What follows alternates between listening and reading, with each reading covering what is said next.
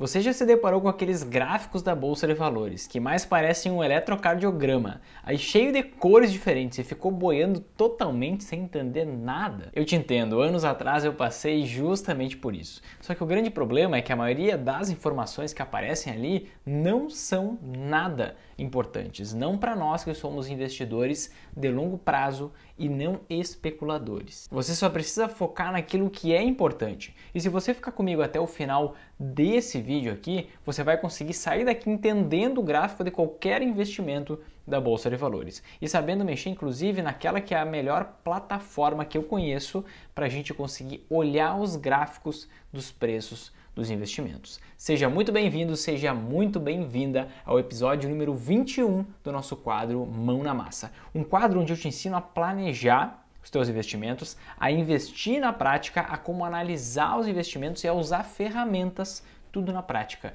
99% das aulas diretamente da tela do meu computador, assim como vai ser a de hoje. E se porventura tu ainda não me conhece, muito prazer, meu nome é Vinícius Marinho, eu sou criador do método e do programa Investidor Sempre em Alta onde o meu objetivo é ajudar pessoas comuns, assim como eu, a conseguirem lucrar tanto nos períodos de alta quanto nos períodos de queda da bolsa de valores, inclusive durante as maiores crises como essa que a gente está passando agora. E tem duas perguntas que me fazem muito praticamente todo dia e eu gosto de endereçar já no início de cada vídeo que eu faço. A primeira delas é: tu dá recomendações de investimento? E a grande resposta: não. Essa é a resposta. Nunca dei, não dou nem nunca vou dar recomendações de investimento. Por quê? Porque eu prezo pela tua liberdade ao investir. Eu não, eu não prezo pela tua dependência, tua escravidão de mim. Toda, toda vez tu vai ter que estar em busca de informações, de recomendações, de relatórios, de notícias. Já pensou quanto tempo tu vai perder? Quanto dinheiro tu vai jogar fora correndo atrás disso? Sendo que tu pode investir por conta própria e lucrar com a bolsa em qualquer direção, é esse caminho que eu quero te mostrar. Por isso que eu não dou recomendação certo? Outra pergunta que surge muito: Vinícius, tu vai me vender alguma coisa no final desse vídeo aqui? A grande resposta é que não. Nem se tu quiser entrar hoje no meu programa de acompanhamento, no programa Investidor Sempre em Alta, não tem como. Vinícius, te pago cinco vezes o preço de acesso. Não tem como, gente. Eu abro algumas turmas, poucas vezes por ano, e acompanho essa turma certo? Por isso que é um programa de acompanhamento. Quando eu me sinto seguro de que a turma já está conseguindo lucrar com a bolsa em qualquer direção, já tirou todas as dúvidas, já está encaminhada, aí eu abro novas vagas,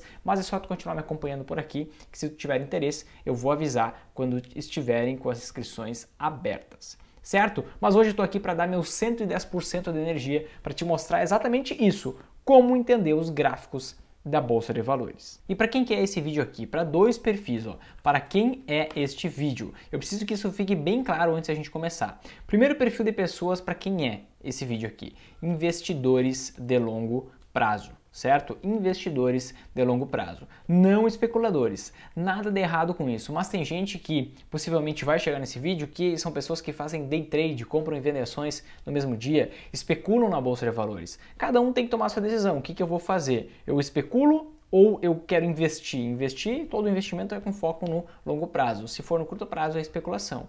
Mas eu tenho que escolher o que, que eu faço, tá? E aí não tem nada de certo, nada de errado com isso, tem prós e contras, vantagens e desvantagens, cada um faz a sua análise, mas esse vídeo aqui é para investidores de longo prazo. E mais do que isso, para investidores que investem conforme a análise fundamentalista, não análise técnica ou análise gráfica. Como assim, Vinícius? Esse é um vídeo para ensinar a mexer no gráfico, mas não faz análise gráfica? Vamos separar as duas coisas. O que, que é análise, rapidamente, o que, que é análise técnica ou gráfica e o que, que é análise fundamentalista? Caso tu não saiba hoje, não tem problema nenhum, tá? Então, análise fundamentalista, que é a que a gente usa o quê? A gente trata, por exemplo, o, a gente trata os investimentos com base nos seus fundamentos. Então, por exemplo, o que, que é uma ação? Uma ação é uma parte de uma empresa. Como que eu analiso se eu devo investir ou não em uma ação? Eu tenho que analisar a empresa, os fundamentos da empresa, lucratividade, rentabilidade, endividamento, etc. Agora, se eu faço a análise técnica ou gráfica, não importa o quão saudável é aquela empresa, não importa o quão rentável é aquela empresa, o que, que eu vou é, buscar identificar? busco, na verdade, a análise busca identificar tendências de alta ou de queda, certo? Enquanto a análise fundamentalista foca no fundamento dos investimentos, naquilo que realmente importa. Digamos que no mundo real, o mundo da análise técnica ou gráfica é o mundo mais da estatística. Como é que aquilo se comporta? Vou tentar achar desenhos do gráfico para eu conseguir identificar se a tendência é de alta ou é de queda, tá? Já testei as duas formas de análise, já investi conforme análise técnica, análise gráfica, só que tem um. Eu explico com muitos detalhes isso, gente. Eu não vou entrar aqui no, no, nos mínimos detalhes em relação a isso, mas basicamente, se tu colocar no meu canal no YouTube, mão na massa, inclusive um outro episódio desse quadro aqui, mão na massa, hashtag 007, tu vai chegar a, em um vídeo onde eu explico qual dessas duas formas de análise, o que, é cada uma com detalhes? E por que, que eu foco na análise fundamentalista, por que, que todo investidor sempre em alta foca na análise fundamentalista e ignora, não investe com base na análise técnica, não investe com base na análise gráfica, tá? Então eu quero deixar, antes de eu começar a te mostrar o gráfico, eu quero deixar bem claro, não importa o que, que o, o gráfico está apontando se a ação se valorizou um monte, se se desvalorizou um monte, isso não vai indicar absolutamente nada se é uma boa ação para eu comprar. Isso vale tanto para ações, se eu for olhar fundos imobiliários, a mesma coisa, eu vou te ensinar a ver tudo isso na prática, tá? Então não importa se subiu 200% ou se caiu 70%. Isso não é indicativo que eu devo investir o que eu não devo investir. O que importa para mim são os fundamentos desse negócio, os fundamentos desse investimento, tá? Se tu quiser entender a diferença entre uma e outra e por que que eu larguei esse tipo de análise e foquei nesse e eu comecei a ganhar, inclusive a curto prazo, muito mais dinheiro investindo com foco no longo prazo, com foco na análise fundamentalista, pesquisa lá no YouTube, isso aqui, ó, mão na massa, hashtag 007, Vinícius Marinho, que tu vai chegar nesse vídeo onde eu explico isso em todos os detalhes. E por que falar sobre isso, né? Por que falar sobre gráficos então? Se eu não invisto com base em análise técnica, análise gráfica, na verdade eu não preciso olhar o gráfico para eu investir conforme a análise fundamentalista, por que falar sobre isso? Por que falar sobre gráficos? Por que eu quero te ensinar isso? Por quê? Porque tem muitas aulas que eu faço que eu mostro gráficos ou como introdução, ou mostro um acontecimento, extraio dali um ensinamento, ou faço uma explicação com base no gráfico, poxa, olha o comportamento desse investimento em relação a esse aqui. Então, esse tipo de análise a gente pode fazer. Nenhuma decisão é pautada por um, um investimento ter subido ou caído, ter se valorizado ou desvalorizado. Isso não importa o desenho que está ali, nada disso para a gente, tá? Mas a gente pode tirar conclusões a partir de análises que a gente faz. Só que tem muita gente que assiste as minhas aulas, assiste meus vídeos, todos os meus conteúdos e quando bate no gráfico ali fica meio sem entender direito como é que o que está sendo mostrado ali. Como que funciona ali aquele gráfico, né? E inclusive outras pessoas quando vão assistem a aula entendem, mas querem lidar mais com aquilo, querem fazer suas próprias análises fruto daquilo que eu ensinei em um determinado vídeo, em uma determinada aula, e não conhece uma plataforma para usar. E eu justamente é isso que eu vou te mostrar, como entender, como interpretar e como usar essa que eu é, é que eu considero a melhor plataforma de gráficos que existe para a gente usar, tá? E até se tu for perceber, parar para perceber, qualquer, se tu for buscar pesquisar, por exemplo, o preço de uma ação e tu colocar lá no Google. Vamos, deixa eu te mostrar minha tela aqui. Coloquei no Google, ó, Petri 4, por exemplo, já vai aparecer para mim na cara um gráfico aqui que eu posso até expandir o período de tempo dele, ó, mas para mim já aparece um gráfico, então eu tenho que entender justamente como isso funciona,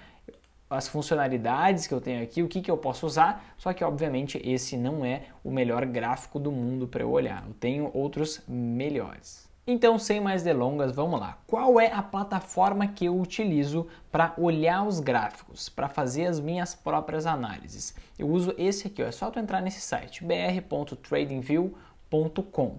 Quando eu entro aqui, eu posso fazer um login, tá? Eu só não vou fazer o login porque, se, porque já está as minhas configurações ali é, certinhas, tá? Mas eu posso fazer um login com o Facebook, com o Gmail e deixar até gráficos prontos ali se eu quero olhar, fazer alguma análise específica, tá? Mas a primeira vez que tu for entrar nesse site vai aparecer exatamente isso daqui para ti. Para tu entrar num, num gráfico, olha só, a melhor maneira de acompanhar os mercados. Então, para tu olhar um gráfico, tu vem aqui em gráfico, só tu clicar aqui, que já vai abrir para ti um gráfico, tá? E aqui que a maioria das pessoas se assustam que elas ficam realmente, poxa, meu Deus, como é que é um gráfico? Aqui aparece, olha só, criptomoedas, detalhes, aparece manchetes, esquece notícias. O nosso foco não está em olhar notícias. O que, que eu faço com essa aba aqui? Mando ela embora, só arrasto para a direita. E aqui, o que, que, é, o que, que é isso aqui, né? poxa, esse gráfico cheio de cores, verde, vermelho, isso aqui são os candles.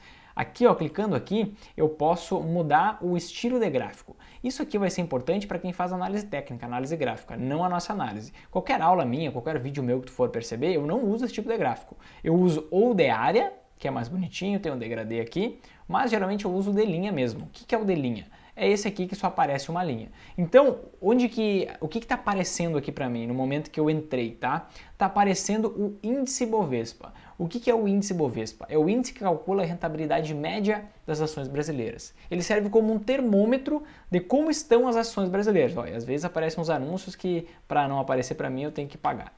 Mas vamos lá ele mede a rentabilidade média das ações brasileiras, tá? Então esse índice diz poxa, a bolsa está subindo ou a bolsa está caindo? Na média. É esse índice que a gente acompanha para conseguir perceber isso, tá? E aí o código dele é IBOV. Então, no momento que a gente abriu, aparece aqui para mim esse gráfico do índice Bovespa.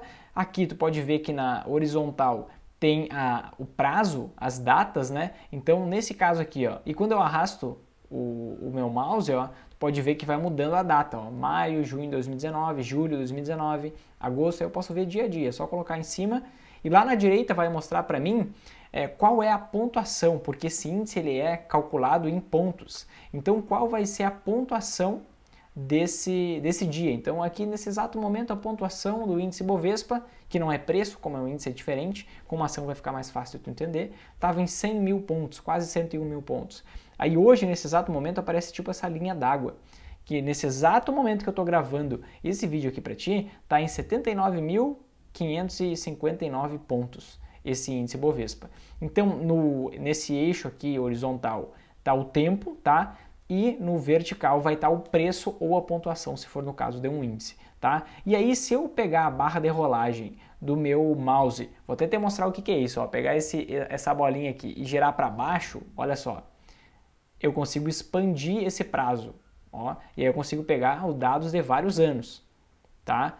Se eu aproximar, se eu jogar o rolinho para cima, eu, eu aproximo cada vez mais, podendo chegar a tamanhos bem bons. Poxa, Vinícius, eu não uso mouse, eu estou usando só o mousepad do meu notebook, por exemplo. Tu pode clicar aqui em aumentar zoom, diminuir zoom. Quando tu coloca o mouse para baixo, isso aparece. Aí eu posso rolar para a direita, posso ir para a direita devagarinho, posso ir para a esquerda e assim por diante, tá? E o que acontece? Quando a gente vai fazer uma análise, dificilmente a gente faz uma análise de curto prazo. Por quê? O nosso foco está no investimento a longo prazo. O investidor, ele investe com base no longo prazo. Então ele quer ver o comportamento dos investimentos no longo prazo, que é só quando os investimentos realmente fazem sentido. Então, além de ele mudar aqui, primeiramente, esse estilo do gráfico, o que, que ele pode fazer? Aqui, ó, onde aparece esse D, é a escala de tempo que eu quero ver, né? Por exemplo, como assim escala de tempo? Cada tracinho, tu pode ver, ó, quando eu aproximo bem e aí eu vou indo pro lado, para onde que ele vai? Ele muda de um dia para o outro. Por quê? Porque ele está na escala diária aqui, ó. Muda de um dia para o outro. 9 de abril, o, pre o preço, nesse caso a pontuação em 8 de abril, em 7 de abril, aí em 6 de abril e assim por diante. Aí depois, antes de 6, vai ter o quê? 3 de abril. 4 e 5 era fim de semana, então não tem alteração. Que, que eu posso fazer aqui para eu olhar no longo prazo? Eu posso mudar essa escala de diária para semanal. Então vamos lá, eu vou pegar aqui, por se eu quiser fazer análise gráfica, sei lá, eu vou pegar aqui um gráfico de um minuto. Aí tu pode ver que é muito mais volátil, ó. aparece os horários do dia, etc e tal. Mas esse não é o nosso foco. Então eu vou pegar aqui semanal. É o prazo que eu mais uso. Então, por exemplo, eu consigo pegar o gráfico de toda a bolsa desde 94 e colocar aqui para mim. Eu consigo fazer outras análises, ó.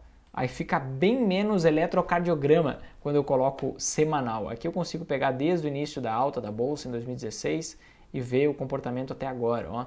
Quanto que chegou a subir aqui em pontuação, tá? Saiu lá dos 38, 37 mil pontos até os quase 120 mil e assim por diante. Só que assim, poxa, eu queria saber quanto por cento isso rendeu. Então eu venho aqui, ó, nesse nessa engrenagemzinha e aqui eu posso mudar para regular vai me dar o preço ou a pontuação, tá? Percentual vai me dar exatamente o percentual. Opa, quanto que na média a bolsa chegou a se valorizar? Então saiu aqui da mínima, chegou a se valorizar, olha lá na direita, 212,11%.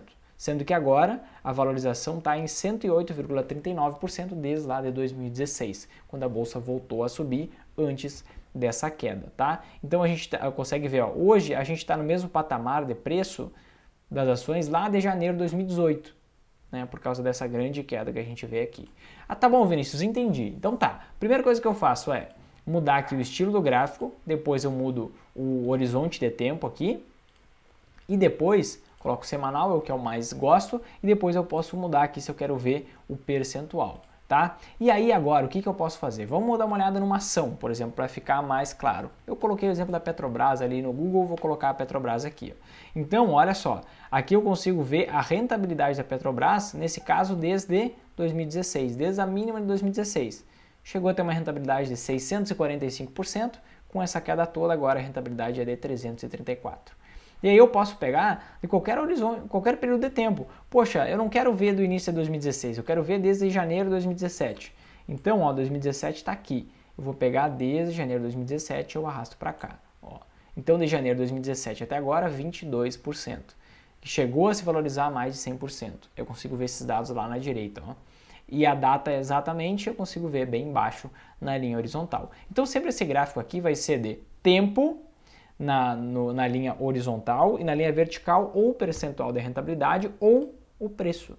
Quando eu colocar aqui em regular, vai me dar o preço, justamente o preço. Ó. Quanto que está a ação nesse exato momento, pode ver que está mudando. Toda hora está mudando os preços das ações, né? Então vai estar 17,79, daqui a pouquinho vai mudar isso aqui, ó, 17,81, sendo que chegou ali antes da, da bolsa começar a cair a 30 reais, tá? E aí tem que ficar fechando toda hora esses anúncios. Quando tu faz o teu login, tu te cadastra ali, entra com um login gratuito que tu faz, isso aqui já some, tá? Eu só não entrei para porque eu queria fazer essa construção, essa configuração contigo. Então eu posso olhar os gráficos num período de tempo maior, eu posso ver que lá no ápice da crise de 2008, olha só o preço das ações da Petrobras chegou a até mais, ó, a 32 reais. A gente consegue ver todo esse gráfico. Tá? Se eu for olhar, por exemplo, quero olhar um gráfico de um fundo imobiliário, como é que funciona? Vou pegar um fundo imobiliário aqui, com a NRI 11. Vou pegar aqui, ó, aqui eu consigo ver desde o início do fundo imobiliário como que é o gráfico dele, tá? Eu consigo ver o comportamento dos preços. Se eu quiser ver rentabilidade, é só mudar aqui para percentual. Ó, aqui já aparece o percentual para mim. Quero ver o rendimento desde 2014. Eu arrasto, deixo ali em 2014, consigo ver. Só aqui eu tenho que deixar até o final, né? Então 2014 consigo ver aqui. Quero ver desde 2015, consigo ver. 16, posso fazer isso. Ah, Vinícius, eu, uma, eu assisti uma aula tua em que tu compara, por exemplo, o índice Bovespa com o dólar e com o ouro. Como que eu faço isso? Vamos lá, deixa eu te mostrar como é que tu faz isso. Então tá, digamos aqui que eu coloquei o índice Bovespa, tá? O que eu colocar aqui, ó, bem em cima aqui, vai ser o, o investimento principal que eu estou olhando. Mas aí eu posso vir aqui em comparar e eu posso adicionar investimentos. Então, por exemplo, o código do, do dólar vai ser USD-BRL, que é o dólar em relação, ó, dólar em relação ao real brasileiro. Então eu clico aqui. Quando eu clico aqui, eu já consigo ver que apareceu o dólar nessa linha laranja e aqui tem um índice que eu consigo ver qual é a cor, né? Aí eu vou colocar aqui, por exemplo, o, o dólar, o perdão, o ouro em dólares. E aí, poxa, ficou uma cor bem parecida, né? Se eu clicar duas vezes aqui, eu consigo mudar essa cor. Eu venho aqui em estilo, vamos colocar uma cor bem diferente, uma cor amarela. Pronto, agora não tem mais como confundir. Então aqui eu consigo ver o comportamento, por exemplo, eu consigo relacionar, poxa, deixa, aqui eu consigo apagar o, eu não apago, eu só oculto o ouro, por exemplo. Então eu consigo, aqui eu consigo ver exatamente o princípio básico do investidor sempre em alta, ó, investir em ações e anti-ações. A anti-ação mais clássica é o próprio dólar. Quando as ações sobem, dólar cai, quando o dólar sobe, ações caem e vice-versa, a gente vê isso em todo o comportamento. Poxa, quero ver como que nos momentos de crise o ouro se comportou, né? Posso ver aqui, ó, poxa, após crise de 2008, o ouro teve uma grande valorização. Interessante. Por quê? Porque a crise de 2008 foi uma crise muito semelhante a essa, uma crise internacional, onde os investidores ficaram com muito medo. Então, a partir daqui, a gente consegue tirar várias conclusões. Né? A gente consegue analisar para conseguir ver qualquer coisa que a gente quiser ver. Ah, quero comparar com duas ações. do mesmo setor, a rentabilidade delas, por algum motivo, tá? Não necessariamente isso vai ser importante, porque o que importa são os fundamentos do negócio. Mas eu quero comparar, por exemplo, Magazine Luiza, vou fazer uma comparação desleal aqui, tá? Só para te mostrar. Magazine Luiza com lojas americanas. Vamos ver quanto que uma ou outra se rentabilizou. Aí a gente pega todo esse gráfico, olha só a diferença da coisa. Se eu olhar desde, desde 2016, é praticamente incomparável o negócio. 18.900% para o Magazine Luiza e 46% para lojas americanas. Se eu olhar de 2017 para frente, 2.660 e poucos a contra 31. Se eu olhar, deixa eu aproximar um pouco mais aqui, de 2018 para frente, 330% contra 36. De 2019 para frente, 88 contra 14 e de 2020 para frente, Olha aí! Não, mesmo assim não ganhou. 19% da, da Magazine Luiza contra 17% das lojas americanas. Então eu consigo mexer com tudo isso. Poxa, Vinícius, eu vi que tem muito mais funcionalidade. Tem indicadores, eu consigo colocar, olha só, um monte de média móvel. Isso aqui vai ser para quem faz análise técnica, análise gráfica. Dados financeiros, se eu quiser entrar com vários outros detalhes e comparar esses detalhes de balanço patrimonial, fluxo de caixa, não é o nosso foco aqui, tá? Mas tem muita coisa que se tu quiser mexer, não te eu não vou te recomendar mexer porque eu não uso absolutamente nada disso. O que, que eu efetivamente uso? O que eu te mostrei aqui.